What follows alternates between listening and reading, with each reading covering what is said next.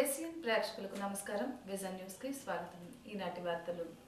రాష్ట్రంలో త్వరలో మూడు లక్షల ఇండ్ల స్థలాల పట్టాలను పంపిణీ చేస్తామని ముఖ్యమంత్రి నారా చంద్రబాబు నాయుడు చెప్పారు. విజయవాడలో రెండు రోజుల పాటు జరిగే జిల్లా కలెక్టర్ల సదస్సుకు బుధవారం ముఖ్యమంత్రి అధ్యక్షత వహించి మాట్లాడారు.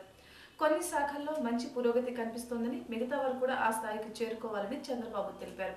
తొలి అర్ధ సంవత్సరంలో పన్నెండు పాయింట్ రెండు మూడు శాతం వృద్ధి రేటు సాధించామని ప్రస్తుతం పద్నాలుగు పాయింట్ నాలుగు ఒకటి వృద్ధి రేటును లక్ష్యంగా పెట్టుకున్నామని ముఖ్యమంత్రి పేర్కొన్నారు.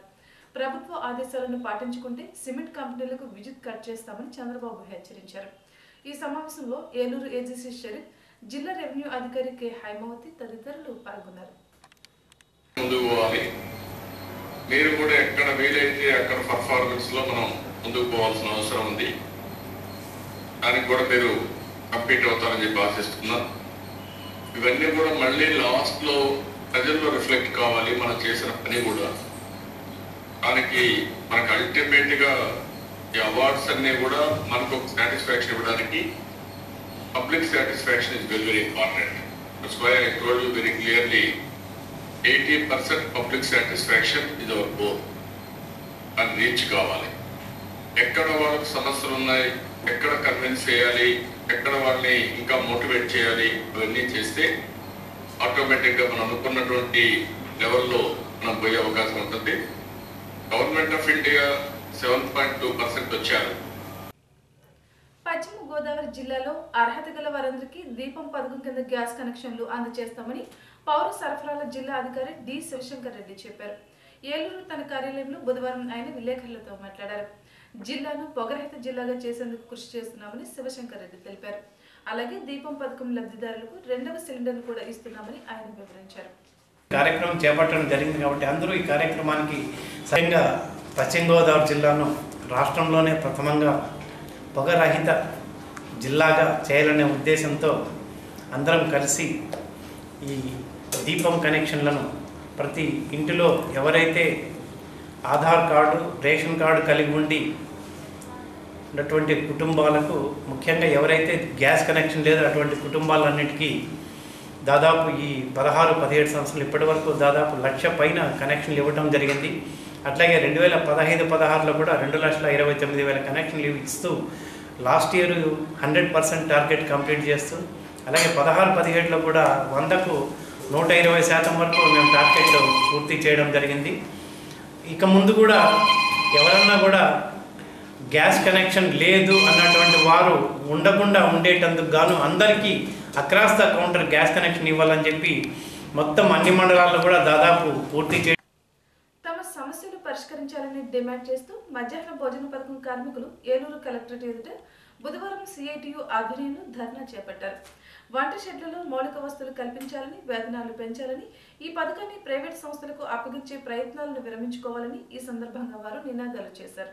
ఈ కార్యక్రమంలో ఈ సంఘ నాయకులు డి. మరియమ్మ ఏ. శ్యామలారాణి తదితరులు పాల్గొన్నారు కల్పించాలి పెండింగ్ బకాయిలు వెంటనే కల్పించాలి మౌలిక వసతులు కనీస వేతనం ఐదు వేల రూపాయలు కనీస వేతనం ఐదు వేల రూపాయలు వైఎస్ఆర్ కాంగ్రెస్ పార్టీ రాష్ట్ర అధ్యక్షులు వైఎస్ జగన్మోహన్ రెడ్డి జన్మదినోత్సవాన్ని పార్టీ నాయకులు బుధవారం ఘనంగా నిర్వహించారు. అత్తరులోని పార్టీ కార్యాలయంలో ఏర్పాటు చేసిన కార్యక్రమంలో పుట్టినరోజు కేక్ను పార్టీ మండల నాయకులు మద్దాల నాగేశ్వరరావు ఆకుల చిన్నబాబు కట్ చేసి జగన్కు జన్మదిన శుభాకాంక్షలు తెలిపారు.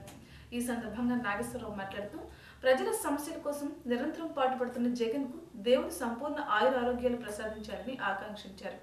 కార్యక్రమంలో పార్టీ నాయకులు బుద్ధరాతి భరణి ప్రసాద్ మెర్ల దానపండు మద్దాల శ్రీనివాస్ పైబోయిన సత్యనారాయణ గొర్రె రాము మీసాల శ్రీను కంకటాల సతీష్ చిట్టాల వెంకన్నబాబు దిరిసాల నాగబాబు రావులు సత్యనారాయణ దామశెట్టి బాబు ఎడ్లపల్లి వాసు మెర్ల బాబి తదితరులు పాల్గొన్నారు. మా వైఎస్ఆర్సీపీ నాయకులు వైఎస్ జగన్మోహన్ రెడ్డి గారి పుట్టినరోజు. ఇవాళ మా కార్యకర్తలు మా నాయకులంతా కలిపి ఆయన పుట్టినరోజు పండుగ ఇక్కడ చేసుకుని వారికి మన స్వాగతం చెప్తూ ఆయన నూరేళ్ళు వర్దిల్లాలని ఆయన కాబోయే ముఖ్యమంత్రి కావాలని మేమందరూ కోరుకుంటూ ఇవాళ ఆయన పుట్టినరోజు జరుపుకుంటాం వైఎస్ఆర్సీపీ అధినేత వైఎస్ జగన్ జన్మదినోత్సవ వేడుకను అతిలి శివారు గోకులమ్మపేటలో వైఎస్ఆర్సీపీ యువజన విభాగం జిల్లా నాయకులు బుడితి సుజన్ కుమార్ ఆధ్వర్యంలో నిర్వహించారు. ఈ సందర్భంగా కేక్ను కట్ చేసి జగన్కు జన్మదినోత్సవ శుభాకాంక్షలు తెలిపారు. రాష్ట్ర ప్రయోజనాల కోసం అహర్నిశలు నిర్విరామంగా పోరాడుతున్న ఏకైక నాయకుడు జగన్ అని సుజన్ కుమార్ పేర్కొన్నారు. కార్యక్రమంలో పార్టీ కార్యకర్తలు దుర్గారావు బడెట్టి మురళి పిసిని సాయి సురేష్ మెండి భీమరాజు కసిరెడ్డి సురేష్ సనపతి ప్రశాంతి నజీర్ షేక్ సుభాని తదితరులు పాల్గొన్నారు. బల్లిపాడు శ్రీ మదన గోపాల స్వామి వారి ఆలయంలో బుధవారం హుండీ ఆదాయాన్ని లెక్కించారు. తనకు దేవాదాయ ధర్మాదాయ శాఖ తనిఖీదారు సమక్షంలో హుండీని తెరిచారు. స్వామివారికి భక్తులు కానుకల రూపంలో వేసిన నగదును లెక్కించారు. పదిహేను వేల రెండు వందల పది రూపాయల ఆదాయం వచ్చినట్లు ఆలయ కార్యనిర్వహణాధికారి నాగం సన్యాసరావు తెలిపారు. కార్యక్రమంలో ఆలయ trust board chairman Garpati Dharmaiah ఆలయ సిబ్బంది పాల్గొన్నారు. ఎన్నడూ తీర్థయాత్రలకు నోచుకొని పేద హిందూ భక్తుల కోసం రాష్ట్ర దేవాదాయ ధర్మాదాయ శాఖ ద్వారా దివ్య దర్శనం అనే ధార్మిక యాత్రను ప్రవేశపెట్టిందని బల్లిపాడు శ్రీ మదన గోపాలస్వామి ఆలయ కార్యనిర్వహణాధికారి దివ్య దర్శన యాత్ర మండల లైజనింగ్ అధికారి నాగం సన్యాసరావు తెలిపారు. బుధవారం ఆయన దివ్య దర్శన యాత్ర విషయాలను వెల్లడించారు. జనవరి రెండవ తేదీ నుంచి దివ్య దర్శన యాత్ర ప్రారంభమవుతుందని అన్నారు. దివ్య దర్శన యాత్ర పూర్తిగా ఉచితమని తెలిపారు. ఈ యాత్ర నాలుగు నుంచి ఐదు రోజుల పాటు ఉంటుంది. రాష్ట్రంలో నాలుగు పెద్ద దేవాలయాలను దర్శించుకునే అవకాశం కల్పిస్తారు. ప్రతి జిల్లా నుంచి ఏడాదికి పదివేల మంది వరకు దివ్య దర్శన యాత్రను కల్పిస్తారు. తొంభై శాతం వరకు ఎస్సీ ఎస్టీ బీసీలకు ప్రాధాన్యత ఇస్తారని తెలిపారు. ఒక కుటుంబంలో గరిష్టంగా ఐదుగురు వరకు అవకాశాన్ని కల్పించారు. ఈ యాత్రలో పాల్గొనే వారి వయసు పద్దెనిమిది నుంచి డెబ్బై ఏళ్ళ వయసు కలిగిన ఆరోగ్యవంతులు దివ్య దర్శనం యాత్రకు అర్హులని తెలిపారు. ప్రతి వారం ఒక మండలంలో ఉన్న రెండు వందల మంది పేదలకు అవకాశం కల్పిస్తారు. దివ్య దర్శన యాత్రకు దరఖాస్తు చేసుకున్న వారిని దేవాదాయ ధర్మదాయ శాఖ అధికారులు లాటరీ ద్వారా ఎంపిక చేస్తారు. దివ్య దర్శన యాత్రకు దరఖాస్తు నింపి కుటుంబ సభ్యుల ఆధార్ జిరాక్స్లు ఫోన్ నెంబర్ను వ్రాసి తహసీల్దార్ కార్యాలయంలో ఏర్పాటు చేసిన డ్రాప్ బాక్స్లో వేయాలని సూచించారు. డ్రాప్ బాక్స్లో వేసిన దరఖాస్తులను దేవాదాయ ధర్మదాయ శాఖ జిల్లా అధికారులకు పంపిస్తారు. ఆన్లైన్లో కూడా దివ్య దర్శన యాత్రకు నమోదు చేసుకోవచ్చని ఈవో నాగం సన్యాసరావు చెప్పారు. W W W dot AP endowment dot G O V in వెబ్సైట్ను ఓపెన్ చేసి న్యూస్ అండ్ అప్డేట్స్ని క్లిక్ చేస్తే దివ్య దర్శనం పోర్టల్ కనిపిస్తుందని తెలిపారు. ఇక్కడ డబ్ల్యూడబ్ల్యూడబ్ల్యూ డాట్ దివ్య దర్శనం ఇన్సైట్ను ఓపెన్ చేస్తే మొబైల్ నెంబర్ అడుగుతుంది. మొబైల్ నెంబర్ను ఎంటర్ చేస్తే సెల్కి వన్ టైం పాస్వర్డ్ వస్తుంది. ఆ పాస్వర్డ్ను డిస్ప్లే బాక్స్లో ఎంటర్ చేసి సబ్మిట్ చేస్తే ఆన్లైన్ దరఖాస్తు ఓపెన్ అవుతుంది. అక్కడ దరఖాస్తుదారుని ఆధార్ నెంబర్ను ఎంటర్ చేస్తే అతని ఫోటోతో అడ్రస్ డిస్ప్లే అవుతుంది. దాని క్రింద మిగతా నలుగురు కుటుంబ సభ్యుల ఆధార్ నెంబర్లను ఎంటర్ చేసిన తర్వాత రిజిస్టర్ అనే ఆప్షన్పై క్లిక్ చేస్తే దరఖాస్తు ఆన్లైన్లో నమోదు అవుతుందని తెలిపారు.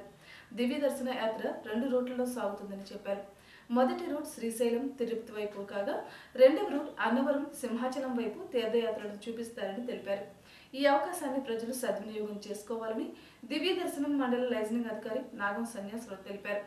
ఇతర వివరాలకు cell number double nine eight double nine six one zero eight ఫైవ్ను సంప్రదించవచ్చని చెప్పారు. మౌలిక సదుపాయాల కల్పనకు ప్రభుత్వం పెద్దపీట వేస్తోందని తనకు ఎమ్మెల్యే ఆర్మిల్లి రాధాకృష్ణ అన్నారు. తణుకు పట్టణంలో తొమ్మిది పంతొమ్మిది ఇరవై ఎనిమిది ఇరవై తొమ్మిది వార్డులో ముప్పై ఆరు లక్షలతో చేపట్టిన పలు రోడ్లు డ్రైన్ల అభివృద్ధి పనులను బుధవారం ఆయన ప్రారంభించారు. ఈ సందర్భంగా ఎమ్మెల్యే ఆర్మిల్లి రాధాకృష్ణ మాట్లాడుతూ తణుకు పట్టణంలో సమగ్ర అభివృద్ధికి ముప్పై కోట్లతో ప్రణాళికలు సిద్ధం చేస్తామని అన్నారు.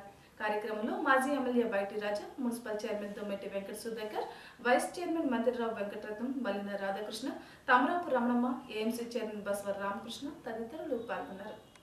రెండున్నర సంవత్సరాల్లోనూ కూడా కౌన్సిల్ ఏర్పడిన తర్వాత చైర్మన్ గారు కౌన్సిల్ మెంబర్స్ అందరూ కూడా మౌలిక సదుపాయాల కల్పనకు పెద్ద ఎత్తున ప్రాధాన్యత ఇవ్వడం జరిగింది. ముఖ్యంగా డ్రైన్లు రోడ్లు సిమెంట్ రోడ్లు.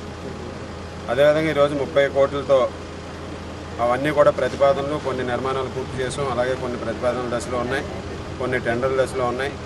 ఇంత పెద్ద ఎత్తున సిమెంట్ రోడ్లు డ్రైన్లు నిర్మించడం ఇది మొట్టమొదటిసారి. పట్టణంలో ఉన్నటువంటి ప్రధాన రహదారులన్నీ కూడా ఈరోజు అభివృద్ధి చేయడానికి కృషి చేస్తున్నాం. అలాగే ఈరోజు ట్రాఫిక్ సమస్య ఉంది పట్టణంలో దానికి కూడా ప్రత్యామ్నాయంగా కొత్త రోడ్లు ఏర్పరచడానికి కూడా కొన్ని ప్రతిపాదనలు కూడా సిద్ధం చేస్తున్నాం. వేల్పూర్ రోడ్డు రాజీవ్ చౌక్ నుంచి వేల్పూర్ వరకు ఇంచుమించు ఎనిమిదిన్నర కోట్ల రూపాయలతో ప్రతిపాదనలు చేసి దాన్ని వైండింగ్ చేయడానికి కూడా నాలుగు రోడ్లుగా దాన్ని చేయడానికి కూడా ప్రతిపాదన పంపించడం జరిగింది. త్వరలోనే అవన్నీ కూడా శాంక్షన్స్ అన్నీ వచ్చి ఆ పనులు కూడా ప్రారంభించుకునే విధంగా వచ్చే సంవత్సరం ఆ పనులు కూడా పూర్తి చేసుకునే విధంగా కూడా ఈరోజు కొన్ని చర్యలు తీసుకుంటున్నాం. తణుకు ఎస్కే ఎస్టీ మహిళా కళాశాలలో మొదటి రెండవ సంవత్సరం పరీక్షా ఫలితాలను కళాశాల secretary and correspondent Chitturu Subbarao విడుదల చేశారు. మొదటి డిగ్రీలో అరవై ఎనిమిది పాయింట్ రెండు మూడు శాతం రెండవ డిగ్రీ విద్యార్థులు డెబ్బై ఏడు పాయింట్ ఐదు శాతం ఉత్తీర్ణులయ్యారని తెలిపారు. సకాలంలో ఫలితాలు విడుదల చేసిన examination controller K. Ramakrishna additional controller NSVN కుమార్లను AUD Subbarao principal P Aruna vice principal B Nagapadmavathi K Radha Pushpavathi J చంద్రప్రసాద్లు అభినందించారు. వైఎస్ఆర్ కాంగ్రెస్ పార్టీ అధినేత వైఎస్ జగన్మోహన్ రెడ్డి నిత్యం ప్రజా సంక్షేమం కోసం తప్పిస్తుంటారని వైఎస్ఆర్సీపీ రాష్ట్ర ప్రధాన కార్యదర్శి మాజీ ఎమ్మెల్యే కారుమూరి వెంకట నాగేశ్వరరావు అన్నారు. వైఎస్ జగన్ జన్మదినోత్సవం సందర్భంగా పలు సేవా కార్యక్రమాలు చేపట్టారు. ఉదయం ఆయన నివాసంలో పార్టీ నాయకులు కార్యకర్తల మధ్య కేక్ను కట్ చేశారు. తణుకు పట్టణంలో భారీ మోటార్ సైకిల్ ర్యాలీని నిర్వహించారు. సంజయ్ జ్యోతి ఆశ్రమంలో కేక్ను కట్ చేసి భోజనం ఏర్పాటు చేశారు. ప్రేమాన్విత మానసిక దివ్యాంగుల పాఠశాలలో చిన్నారులకు భోజనం ఏర్పాటు చేశారు. ఈ కార్యక్రమంలో పార్టీ పట్టణ అధ్యక్షుడు ములిగల్ల శ్రీను గౌరవ అధ్యక్షుడు ఎస్ఎస్ రెడ్డి సత్యప్రియ బోడపాటి వీర్రాజు నాగన సత్యనారాయణ కడియాల సూర్యనారాయణ సత్య రామిరెడ్డి తదితరులు పాల్గొన్నారు. ద్వారకా తిరుమలలో బస్ స్టేషన్ వద్ద యూటీఎఫ్ ఆధ్వర్యంలో సెమీ క్రిస్మస్ వేడుకను బుధవారం రాత్రి ఘనంగా నిర్వహించారు. పాస్టర్ ఎస్ సుకుమార్ మాట్లాడుతూ క్రీస్తు జననం గురించి అందరూ తెలుసుకోవాలని అన్నారు. గొప్ప శుభవార్త క్రీస్తు జననం అని అన్నారు. లోక రక్షకుడు మన అందరి కోసం పుట్టి ఉన్నాడని తెలిపారు. దేవునికి ఇష్టమైన మనుషులకు ఈ లోకంలో సమాధానం కలుగుతుందని చెప్పారు. క్రీస్తు బాటలో నడిచిన వారికి శాంతి సమాధానం కలుగుతాయని అన్నారు. కార్యక్రమంలో యూటీఎఫ్ రాష్ట్ర కార్యదర్శి CH Jaganmohan Rao MEO P Venkatrao P Samuel Gandhi T Devanandam Kota Samuel Johnson Rammurthy తదితరులు పాల్గొన్నారు. ఇప్పుడు ప్రకటనలు.